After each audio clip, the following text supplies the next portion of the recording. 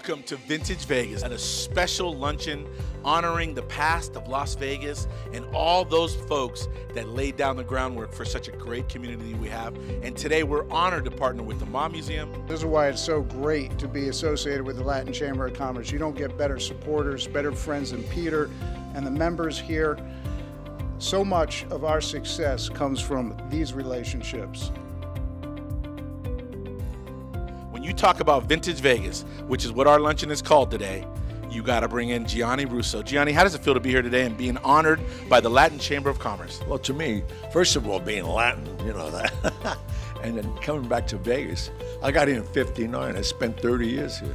I left in '89. I couldn't believe it. We know you're going to talk a little bit about the making of the greatest, probably the greatest movie in history, and uh, we're looking forward to that.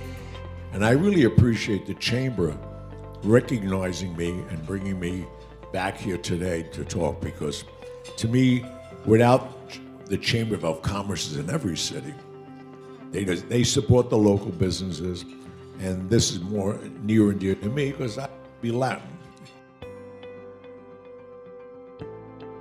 And it's these are really, really important stories for us to be sharing with our community. And we can do that through the Mob Museum, and we can do that as a result of the relationship that we have with the Latin Chamber of Commerce.